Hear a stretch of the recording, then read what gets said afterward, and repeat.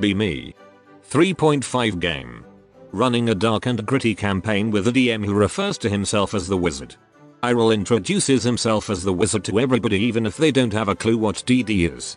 Typical cringy tall lanky neckbeard, not a bad DM but sometimes things get a little creepy and uncomfortable. Wants everyone to get their edgelord on, assume my role as the guy who plays what the party is missing. Got a half orc berserker, a dark elf cleric, a Duergar fighter, and a dark elf rogue. Need a wizard. Oh please. Bust out Barnabas Phalange, a flaming human wizard who loves him some Bigby's hand spells and really bad jokes. By flaming I don't mean fireballs. Typical wizard with the robes and staff and pointy hat, never seen without his disembodied hand familiar, jolly as can be and is more than happy to help people with his powers. Just one rather large quirk. Has zero concept of stealth or subtlety, wears bright pink robes and his Bigby's spells manifest in the same color, overwhelmingly positive and open with absolutely everyone. Among a group full of dark and evil characters he is a blinding beacon of sunshine and happiness. Party calls him Barney, he thinks it's hilarious and actively encourages it. DM rolls with it since we need magic and humor and I'm banned from playing Bard. In a large human city, plotting to overthrow the ruling lord to replace it with someone that will allow the party to do what they want with the place.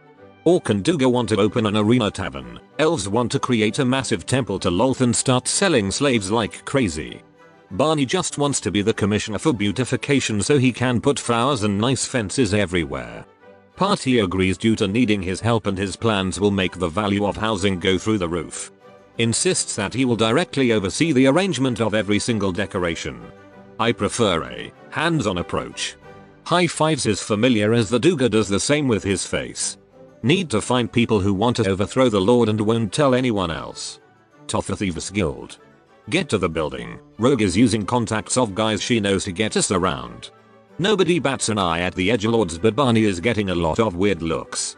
Find a minor gang lord and start arguing over contacts and bribes.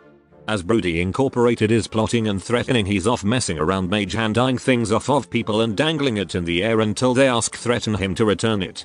One throws down and tries to fight Barney. No need to be so heavy handed. Casts Bigby's pugnacious pugilist, rings a brass bell, magical pair of fists proceed to beat the tar out of the guy. His buddy calls it cheating and steps up. There was nothing underhanded about that at all.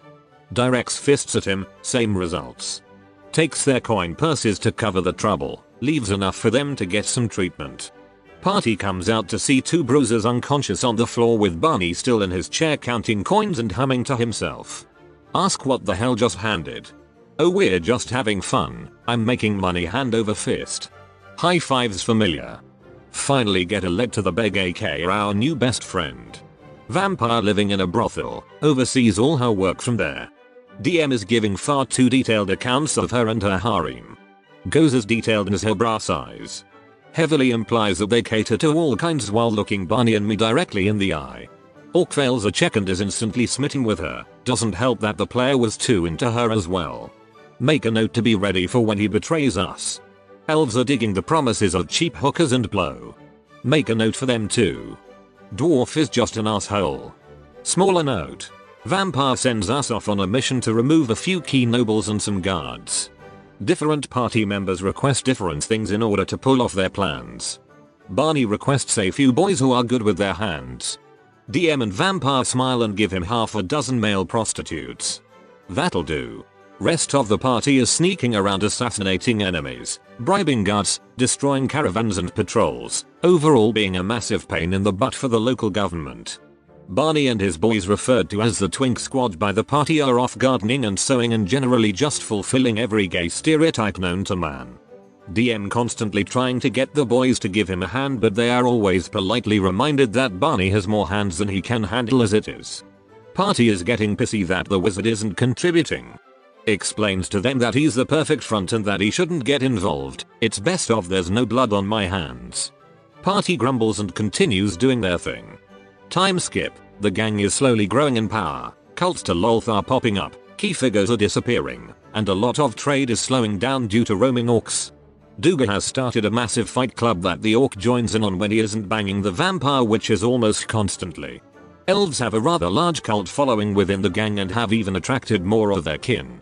Meanwhile Barney has been given a seat in the lower council as head of parks and recreation, running around fixing up houses and generally making the city more pleasant.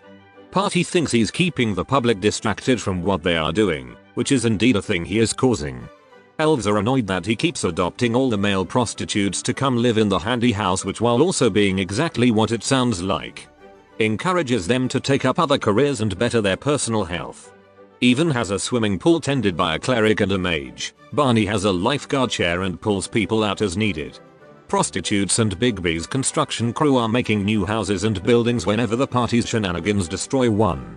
Making ridiculous amounts of money and the public is growing infatuated with Barney Handyman Phalange. Few weeks pass, Vampire is ready to spring her immaculate trap. Party helps remove the last of the old supporters for the Lord. He's all alone with very few guards and everyone is too busy frolicking through the flowers with the hand job guy to notice or care. Party busts in and kills him. There is no longer any form of government. Mission accomplished.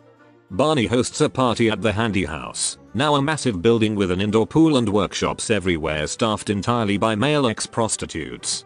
Commoners take their families to go exercise and have fun. Party closed from the public, everyone is celebrating with the gang. Vampire calls for a toast.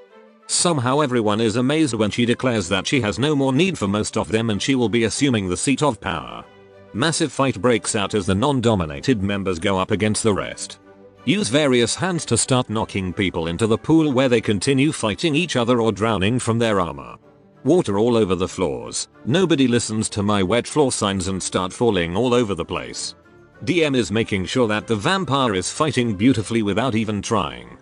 Have gotten real sick of the Mary Sue Fatfic vampire. Elves and Orc and Duergar are all fighting hand to hand in the middle of the pool trying to stab and drown each other so they can be in charge. Last of the minions get finished off. Gorgeous McPerfect sets her eyes on Barney.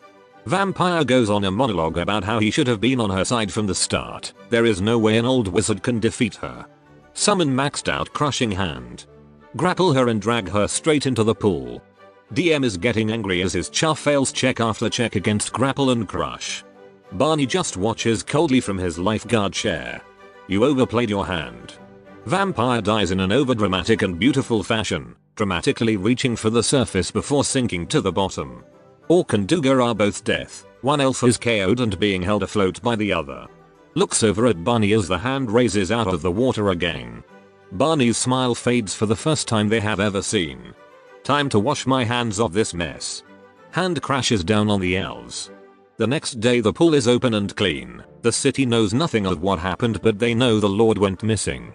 Barney is elected to lead the new High Council thanks to his many charitable works around the city. Crime rate is almost entirely gone, the caravan raids have stopped, the city is beautiful and well maintained, and to top it all off health standards have skyrocketed. My face when gay Gandalf and the YMCA overthrow a vampiric cult and take over the city without the citizens even knowing it happened.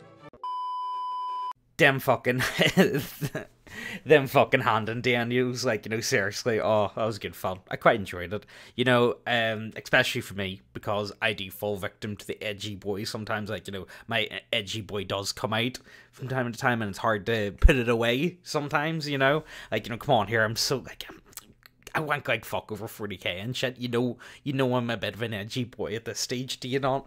But no, it's nice to see like you know gay Gandalf and the Twink Squad. I thought that was fucking great. I really enjoyed this one, so I did. Um, I actually got this one. It was recommended in the comment section of I think it was, yeah, I think it was a barbarian story. Yeah, I think it was the first barbarian video that I did uh, someone said about them, uh, said about this story anyway. So like, you know, if you guys have any suggestions or like, you know, do you know of any like, you know, stories that deserve a wee bit more attention, definitely let us know down below. Although I will say, um, YouTube is really iffy when it comes to putting links in the comments. So um, just give me the name. Um, don't get. I'll I'll find it myself. Don't worry but like you know that's only if you know you have something that deserves the attention because like you know like, i think i love all these sorts of stories like you know that's what i did. I, I all i would do is like you know sit and like read through these like you know and i, I like the idea because i like to think like they give people inspiration for their own characters and shit. You know, um, you know, uh, as the saying goes, we all stand on the shoulders of giants, and I quite like that saying.